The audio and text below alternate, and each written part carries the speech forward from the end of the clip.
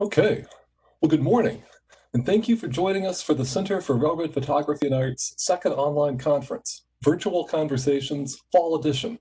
And it sure feels like fall in our home of Madison today. I'm Scott Lothes, President and Executive Director of the Center, and on behalf of our Board of Directors and staff members, welcome. We're so glad you've decided to spend the day with us. We had originally planned to be at Storrs, Connecticut today for the second edition of Conversations Northeast. Our host would have been the archives and special collections of the University of Connecticut Library in their beautiful Thomas J. Dodd Research Center, which we so greatly enjoyed at our first Northeastern themed conference back in 2016. Laura Smith, their archivist, is still joining us today, and this afternoon she will share some digital selections from the extensive railroad holdings at the UConn Archives. We're now planning to host our next Conversations Northeast conference on Saturday, October 2nd 2021 at the University of Connecticut's Dodd Center. Mark your calendars and plan to join us there. In the meantime, we will continue to bring the railroad photography and art you love by every means available to us. Our mission at the Center for Railroad Photography and Art is to preserve and present significant images of railroading. While the circumstances of the past several months have challenged all of us, we've stayed as busy as ever at the center thanks to the wonders of digital communication and the flexibility and devotion of our incredible staff and interns, we've continued to advance every aspect of our mission. Our biggest pivot has been hosting online events like this one. We started with our annual Conversations Conference in April, and we've continued with at least one session every month since then. All of these presentations, and nearly 20 of them so far, are available at no charge on our YouTube channel you can find that at youtube.com slash railphotoart. We'll eventually post all of today's sessions there as well, and we're planning additional content through the fall and into the winter. Our next session will be our virtual Oktoberfest on Tuesday, October 6th, beginning at 7 p.m. U.S. Central Time. John Kelly will take you on a tour of the Milwaukee Roads beer line exploring the history of railroads and beer in Milwaukee, Wisconsin, with photographs from our archive and other collections. We hope you can pour yourself a cold one and tune in for that. The person working behind the scenes to make these events happen is Haley Page, our exhibitions and events coordinator, who's learned a whole lot about video conferencing in a very short time. We're all still learning, so we ask your patience with any technical difficulties, and we welcome your feedback.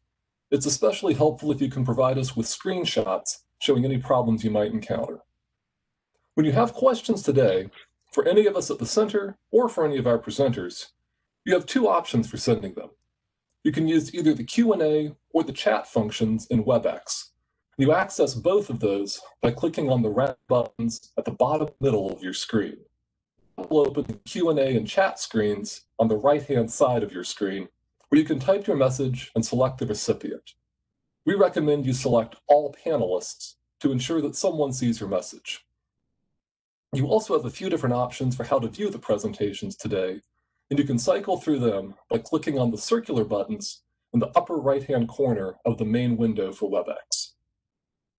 Now, in addition to our online programming, we've also been busy with our publications. The fall issue of our quarterly journal, Railroad Heritage, is just off the press, and it is our longest of all time, 84 pages. The cover story is a true community effort, showcasing your responses to our call for submissions about how you've been staying engaged with railroad photography and art during the pandemic. There's some beautiful and inspiring work in these pages. There's even more beauty and inspiration in the winners of our 2020 John E. Gruber Creative Photography Awards, which you can also find in the fall issue of Railroad Heritage, as well as on our website. We'll be announcing the theme for the 2021 awards program later this year. Stay tuned for that. We've also published a new book, The Railroad Photography of Donald W. Furler. This is just off the press, and in fact, copies have just arrived in our warehouse a couple of days ago. Uh, this is uh, an incredible examination of Furler's steam era action shots of railroading in the Northeast. You can purchase it on our website and view my presentation about it on our YouTube channel. If you've pre-ordered a copy, we should be able to begin shipping those this coming week. Now, the Furler book like so many of our projects, draws upon the collections in our Railroad Heritage Visual Archive. We now have more than 400,000 photographs in our care, double the number of just a few years ago. The person in charge of managing this growth is our archivist, Adrienne Evans. I'm going to turn over the screen to her in just a few moments to tell you more about our collections work. First, though, I'd like to say a few words of thanks. Everything we do at the Center is made possible by our community of members and supporters. Two of them, Michael Schmidt from our board of directors and the Tom E. Dailey Foundation, made special gifts this year to cover the costs of our initial subscription to WebEx Events, the platform we use to host all of our online presentations. This is the first time we've charged a registration fee for any of our online programming. So if you're tuning in right now, you're already part of our community of supporters. Thank you. These fees, which we have tried to keep modest, help ensure the sustainability of our programming, and we are especially heartened that 37 of you made additional gifts to become patrons of this conference. Patron level gifts help us keep our overall registration fees low. Thank you all very much. Uh, there are many ways you can support our work, from your annual memberships to joining our Form 19 Legacy Society by pledging a gift from your estate. Inga Velton, our development director, would be happy to talk with you and answer any of your questions. You can reach her today through the chat function or anytime by phone or email. No matter how you give, will help us further our mission of preserving and presenting significant images of railroading. Each one of the 13 members of our board of directors supports our work mightily, volunteering their time and talents to propel us forward in all that we do. We have a truly phenomenal board, chaired by Bon French, and spanning a wide range of experience and expertise. Most of our board members are tuning in now, and several of them will be introducing our presenters throughout the day. Right now, it's my great pleasure to introduce Adrienne Evans, our archivist, who is here to tell you more about our preservation work. Adrienne joined our staff in 2017, following positions at History Colorado in Denver and the Image Permanence Institute in Rochester, New York. She is a native of South Dakota, but this is her second time living in Madison, as she received her master's degree from the University of Wisconsin's School of Library and Information Studies. She brings to us her passion for historic photography, as well as great knowledge about how to care for it, and she's learned quite a bit about railroads in her three years with us. Her favorite locomotives are streamlined diesels, and she favors the lines of Electromotive's E and F units. Won't you please give a warm virtual welcome to our archivist, Adrienne Evans. Hi, can you hear me? Loud and clear. And give me just a moment and I will give you the presenter baton and you can take it away. Sounds great.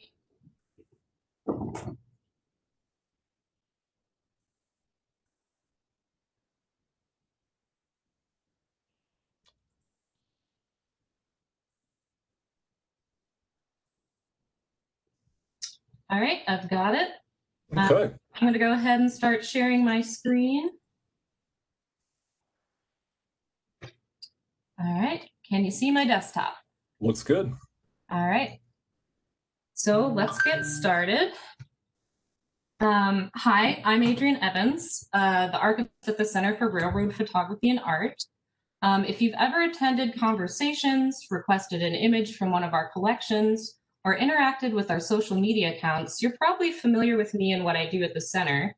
Uh, but for first timers, uh, my job is to manage the preservation of our holdings, facilitate access to our images, and supervise our growing collection staff, um, who honestly take on the brunt of our processing work.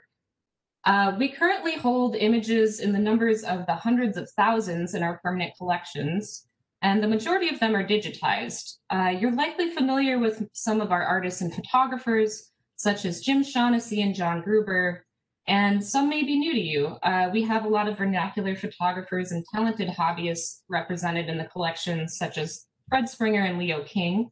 Uh, you can find a complete list of our collections and finding aids to them on our website. And to get us started here, um, here are uh, some Boston and Maine Budd cars at uh, Troy, New York, uh, and this was shot by Jim Shaughnessy on December 14th, 1956.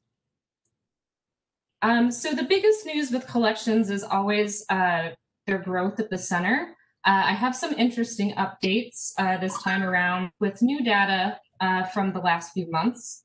Um, in the spring, I projected I projected that we'd reach over uh, 360,000 images in our permanent holdings this year, uh, but we've already smashed through that projection actually, um, and now our archive currently holds approximately 460,000 images, with potentially 19,000 more set to arrive before 2021. Uh, there have been several new arrivals to the archive over the last spring and summer. Uh, we've received collections or portions of collections by Jim McClellan and David Maney. And also, uh, quite significantly, the John Gruber collection has arrived. Um, and this is a large collection comprised of over 109,000 images. And we actually did not expect it to arrive so soon, uh, but it's great. And it's contributed greatly to our collection's growth spurt. Uh, so we're now on track to hit uh, 671,000 images in 2021 and the years following. And that's not counting uh, potential collections up for review by our Collections and Acquisitions Committee in the next few months. Um, and just to give you kind of a visual representation of how much uh, we've grown, um, here you can see on this slide in the upper left-hand corner, um, our archival storage space when we first moved in a little less than a year ago. And below is the current state of the space. Uh, not full, but it, it's much more filled out. Uh, not to worry though, this is just one room in our suite of three, and it's comprised of 1,400 square feet of storage. So we're not out of space yet. Um, and also while we're here, a few more important collection related news items. Uh, first, we've been making uh, great progress towards the goals we set as part of a five-year grant that we received from the Elizabeth Morse Charitable Trust last year. Uh, with support from the grant, we're looking to launch a more robust online collections portal uh, that will give you all greater access to our images. Uh, we recently selected a consultant, Margot Note, uh, who will assist with the selection of the system.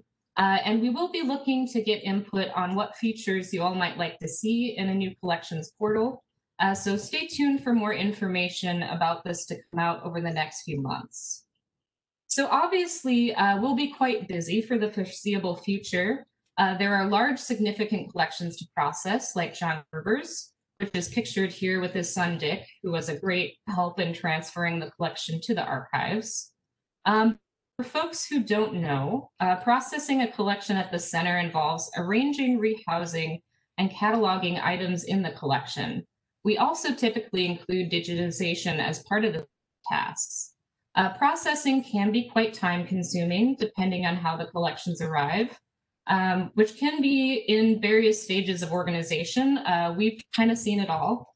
Um, and illustrative of that point is the image in the lower right-hand corner of the slide um, a recent acquisition uh, from a photographer that I'm, I'm not going to name. Um, and I should mention that this container is just one small part of an otherwise well-organized collection. Uh, so speaking of processing, uh, we're currently doing it and we're doing a lot of it. Um, and this was not always the case this year. Um, at the start of the pandemic, everybody was locked down and we did not have access to the collections in our archive. Uh, but we've uh, moved back into our offices, obviously at a much lower capacity than before the pandemic. Um, one staff member and one or two assistants are usually in the office on any given day. Uh, but the rest of the time, uh, we're still working a lot from home. So when we're in the office, we try to social distance. Uh, as you can see here, Angel and Wesley both work in separate processing rooms right now. And uh, one is a makeshift processing room um, that, that will be returned to exhibits after the pandemic is over. Uh, so we're aiming to keep doing what we do while still keeping our staff as safe as possible. And now I'd like to show um, some of the fruits of our labors, uh, some newly processed images. Uh, we began working on Jim Shaughnessy's film negatives earlier this summer. There are 60,000 negatives in the collection, so we put two collection staff members on digitizing and rehousing the materials, uh, Natalie Kresick and Wesley Sondheim. Uh, the negatives are arranged alphabetically by railroad name, and we're close to completing the A series and the B series of the images. Uh, these series include Shaughnessy's images of railroads such as Amtrak, the Argent Lumber Company, the Boston and Maine, Baltimore and Ohio, and many more. And uh, just an FYI, that's why you'll only be seeing images of railroads that begin with A and B as part of the selection. So here we see one of Shaughnessy's classic night shots, and I'm totally a sucker for these. Um, this is uh, Boston and Maine GP9 units units at uh, Mechanicville, New York. Uh, the caption information did not actually include a date for this image, so we'll need to do a little more research on our end. Also, if you recognize it and you know the date, please let me know, and I, I'm, I'm sure you will. Um, we've also processed a group of images in the Shaughnessy collection of the Argent Lumber Company. Um, the locomotives, which are narrow gauge wood burning locomotives, along with uh, Shaughnessy's candid shots of the workers, uh, have been a point of fascination for many of the collection staff. Um, and here's an image Shaughnessy shot in Hardeeville, South Carolina uh, in the early months of 1956. Um, and here's another one of the Argent Lumber Company that we particularly like. Uh, there's kind of a little slice of life feeling as two employees converse in one of the wood burning locomotives. Um, and this image was taken during the same time period as the previous one I just shared. Um, and finally, here's a Shaughnessy image from our B series. It's one that you may be actually familiar with, uh, but I couldn't resist sharing this image. I love the drama of the light and the steam. Um, so I hope you're not sick of seeing it. Um, but this is uh, Baltimore and Ohio steam locomotives, number 1624 and 4469 at Connellsville, Pennsylvania on June 30th, 1956. In addition to Shaughnessy, uh, the collection staff have also been hard at work on the David Meany collection. Uh, in total, it's comprised of about 19,000 images. Um, and David sent the first batch of 2,000 images uh, earlier this year. Um, and it documents real operations in the Northeast and Mid Atlantic United States uh, with some coverage of the Midwest, South, and Canada. Um, so the first batch we received came mostly digitized, which has been a huge help. Um, so we put one of our archives assistants, Angel, on uh, rehousing the negatives in archival safe sleeves and um, also uh, numbering the images based on the center's numbering uh, system. And here we see uh, Delaware and Hudson pushers on what looks to be a cold night in Stillwater, Pennsylvania. And Meany shot this image on December 27th, 1951. Uh, we're currently scouring the collections for some Christmas card photos, and I think this would be a great contender. Um, and here's a personal favorite of mine from the Meany collection. Um, this is the Edaville Railroad. Uh, it's a heritage line. Um, and here's locomotive number three at South Carver, Massachusetts on July 30th, 1952. Um, along with a boy who looks um, both uh, kind of proud to be there and also kind of possessive of the locomotive at the same time. And I, I like to think that this is kind of the quintessential uh, rail fan expression. Um, and it, it gives me a lot of joy every time I see this image. Um, and here's a classic shot for folks who love a good smoke plume. Uh, this is uh, Western Maryland Railway number 1124 hauling westbound freight near Frostburg, Maryland on October 11th, 1952. And uh, finally, I'm rounding out my mini selections with the Baltimore and Ohio. Um, here's number 4434 at Warwick, Ohio on May 17th, 1958. Um, I always love uh, just the the scale of the locomotive kind of versus the people in the shot. I'm I'm a sucker for images like that as well.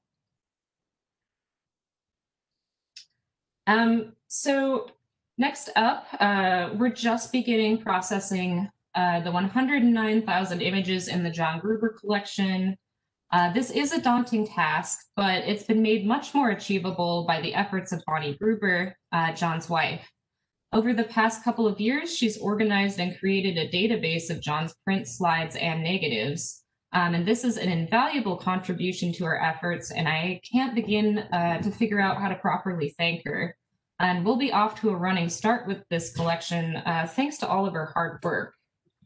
Uh, so we're just uh, starting to dig into the collection. So I'm going to be showing some of John's earliest images paired with some of his later photographs of similar locations. I think you'll get a sense of how John matured as a photographer as he sought out various ways to depict railroading. Um, there's also a bit, of, a bit of a theme of kind of beginnings and endings, um, as many of the images uh, that John shot later in his life feature locomotives that are on their last runs. Um, and in these images, you'll mostly see the Madison, Wisconsin area, as it was one of John's main stomping grounds, and it is the home of the center.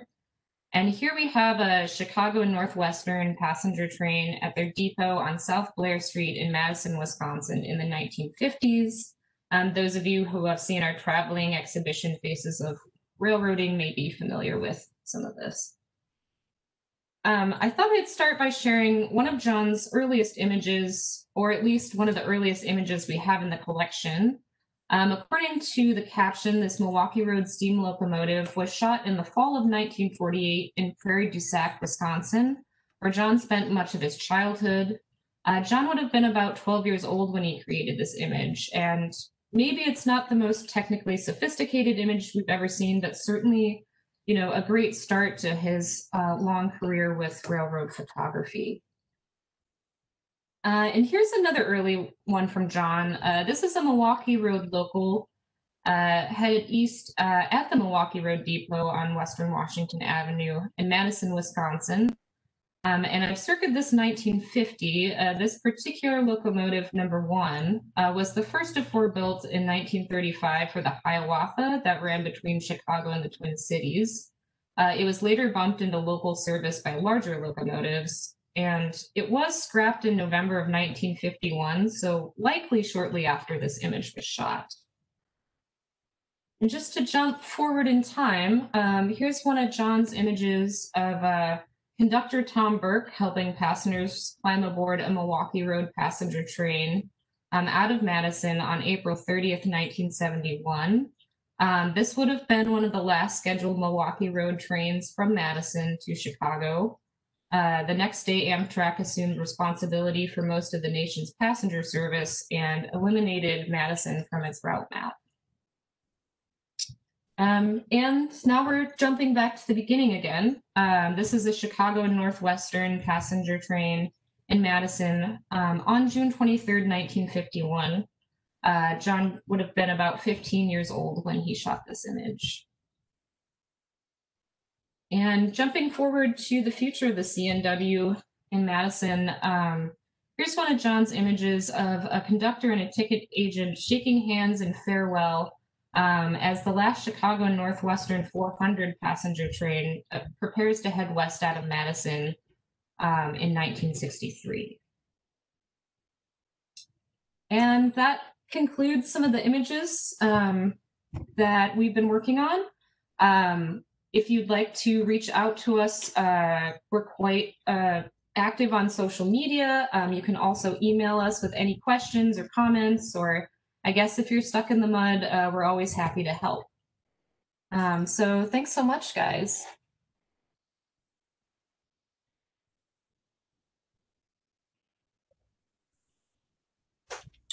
Thank you, Adrienne. Yeah. Great stuff, and uh, I'm sure just a, a, hint of the many gems to come in the in the Gruber collection. Oh yeah, it's it's gonna be great. No, that's that's exciting to see, and, and great work to you and all of our collection staff on on keeping us moving at full speed ahead despite the unusual challenges we faced this year. Yeah, absolutely. And uh, for those of you who didn't know, you probably do now. Adrienne recently got two new kittens, and uh, I, I, only wish we could harness their energy to help process our collections. I didn't even think of it. I, I, I, enjoyed seeing them. I know one of them's name now is Magnus. Does the other one have a name yet? Uh, Cena. Cena and Magnus. All right. Well, uh, glad to have some cameo appearances from them today too. All right. Let's see, I'm going to go ahead and get started now with some opening remarks for our international theme of uh, a lot of today's presentations. Uh, and so I think as, as most of you know, the COVID-19 pandemic has really laid bare one of the great vulnerabilities of living in a time of such extensive global connections. Yet global connections bring about some truly extraordinary benefits too. At our first conference uh, back in April, we were struck by the number of attendees from other countries, including many who stayed up quite late or got up quite early in order to join us. Thanks to social media, I'm connected with railroad photographers from all over the world, and their work is every bit as incredible as what I see here in the United States. When we made the inevitable decision to take this conference online, we needed an almost all new slate of presenters. We decided to turn this into an opportunity to explore more of the world's railways and to meet some of the people who photograph them. We knew we would face some challenges in doing this. Scheduling presenters from so many different time zones added a new twist to our logistics and planning. Beyond that, we also knew it might be harder to promote this event. As railroad enthusiasts, we are nothing if not provincial. All of us, the world over, seem to favor our hometown railroads. The railroads themselves have encouraged this. In the early decades of the 20th century, the Great Northern Railway and many others extolled travelers to see Europe, if you will, but see America first. When I graduated from college 18 years ago, I heeded their advice. I had no interest then in traveling abroad, so I celebrated with a big road trip through the American West. A few years later, though, when the love of my life decided to teach English in Japan, I followed her. It turned out to be one of the best decisions I ever made. Love has compelled people from all over the world to leave the familiar and the comfortable and to strike out for unknown lands. For many railroad photographers, including Fred Springer, who's in our collections, it was the love of the steam locomotive. Steam lasted longer in many other parts of the world than it did here, and the romance of steam railroading drew American photographers across international boundaries. Often they found these places every bit as compelling as the locomotives they'd went to see. There are quite a few examples of this in our collections here at the center. We just published a book about Don Furler's photography, and after his hometown railroads in the northeastern US dropped the fires from the last of their steam locomotives, he headed north to Canada. During one such visit in 1958, Furler rode in the cab of Canadian National Locomotive 6226, this is his photograph of that very engine pulling the Maple Leaf passenger train. The experience prompted him to send a letter of thanks to the CN's division superintendent. Furler wrote, Each year I make several trips to Canada as a tourist. Frankly, because I am tremendously impressed by your country, its industry and atmosphere of getting things done, and because I have found Canadians to be very fine and friendly people. This visit was no exception. Ted Rose, who most of us know for his watercolors, was an avid photographer during his late teens and early 20s. He also went north to Canada, but when steam operations ended there in 1960, he headed south to Mexico, where steam continued for several more years. During the summers of 1960 and 1961, Ted made extended trips to Mexico with his friend Robert Ludwig. They spent four weeks south of the border on their first adventure but they had a bit of a disagreement over the planning of their second trip. Robert shared one of Ted's letters with me, which Ted wrote in response to Robert's suggestion that they spend less time in Mexico and more time in the US. Ted would have none of that. On July 1st, 1961, Ted wrote to Robert Howdy. Regarding Mexico and such places, you were out of your mind fool around here another week while compounds abound and time runs out for a particular three cylinder Pacific?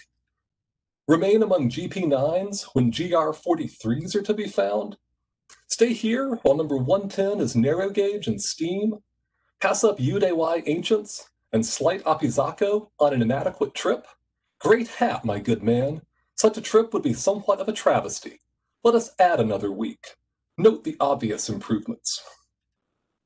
There followed Ted's proposed itinerary for five weeks in Mexico, that August and September. He ended up staying for six weeks. Ted's photographs from Mexico are his best work with a camera, providing ample evidence of his great artistic talent, which he would tap fully when he turned to brushes and water-soluble pigments. If I've piqued your interest in Ted Rose, good. As we continue our online programming into the fall and winter, We're planning a presentation about TED and his work in conjunction with the Colorado Railroad Museum, which is currently hosting our Ted Rose traveling exhibition, seen here with Andy Cummings, one of our members. Stay tuned. our collection with the greatest depth of international coverage is surely Victor Hand's.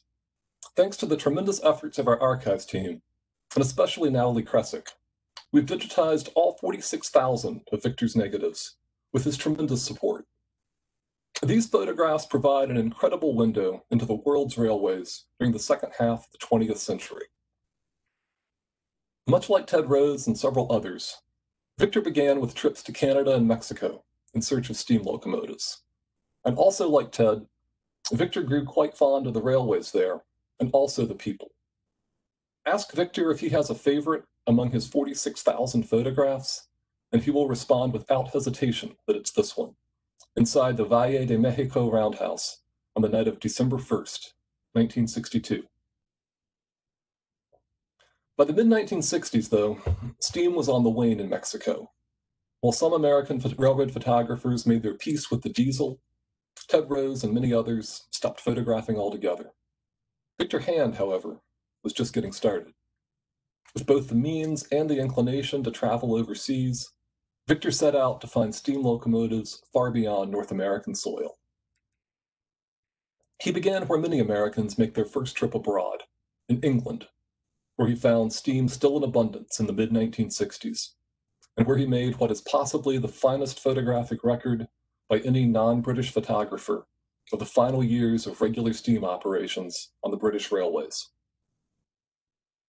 Over the ensuing decades, Victor has traveled all over the world's six inhabited continents. His photography, published widely in Trains magazine and a number of books, help introduce the world's railways to American audiences. When Trains published a lengthy article by Victor featuring Africa's legendary Garratt steam locomotives, editor David P. Morgan wrote, Finally, a photographer worthy of the task. Yet Victor still longed for the hometown railroad of his youth, the New York Central. To Morgan's praise, Victor replied, I would trade every Garratt in Africa to see one Hudson running at speed. That might be true, Morgan told his readers, but the Garratt is better for Victor Hand having photographed it. And so are we. You can learn a lot about a country and its culture by studying its railroads, as I learned while living in Japan. Japan, oh, excuse me. Japan's railways are profoundly different from their American counterparts. Like contemporary railways throughout much of Asia as well as Europe, Japan's railways focus on moving people quickly, efficiently, and punctually. For me, this took some getting used to at first. I grew up in West Virginia, where I marveled at 100 car coal trains slogging up steep mountain grades with engines on the front and rear in full throttle. And I certainly didn't see anything like that in Japan. One of my first train rides in Japan took me from the Kobe airport into Kyoto. From the front of the first car, I could look through a window over the driver's shoulder at the scene unfolding in front of me a narrow gauge, electrified, four track main line. Passenger trains of all shapes and sizes flashed by every few minutes, sometimes two at once. It was as compelling of a railroad landscape as any I have ever seen, fully embodying the term metropolitan corridor, coined by Harvard professor John R. Stilgoe to describe American railroads. The railroads of the United States and Japan could hardly be more different, and yet they both ride on the same basic principle, the flanged wheel on the steel rail. But the same technology could be harnessed to build two systems so vastly unalike is an incredible testament to the great power and flexibility of the railroad. Yet it's not just the differences that are fascinating. Maureen and I lived on Japan's northern island of Hokkaido. It was the last place in Japan to host regular steam operations, which lasted until the end of 1975. I have since discovered that Victor Hand visited many of the same places that I went to photograph Hokkaido's railways. He made this view of two locomotives pulling and pushing a freight train over Karikachi Pass in the mountains of central Hokkaido in 1966. And five years later, he caught a D 52 steaming south along Volcano Bay at Rebun, very close to where Maureen and I would later live, in Muroran. Since 1988, the 33 mile Seikan Tunnel has provided a direct rail connection between Hokkaido and Honshu, Japan's main island. This is my photograph of a limited express train from Aomori, exiting the Seikan Tunnel and entering Hokkaido in 2007. When I lived in Japan, several sleeping car trains ran every night between Hokkaido's capital of Sapporo and the big cities in Honshu. Anytime Maureen and I visited Sapporo, I tried to go to the main railway station whenever those trains were scheduled to arrive or depart. On this particular day, I walked down to the end of the platform to admire the blue and gold DD51 diesel hydraulic locomotives on the Hokutosei, an overnight train bound for Tokyo. The young driver was busy going through his departure preparations, and at first glance, he looked nothing like a traditional American engineer. He sat on the left side of the cab he wore an aviator's hat, a crisp dress shirt, and clean white gloves.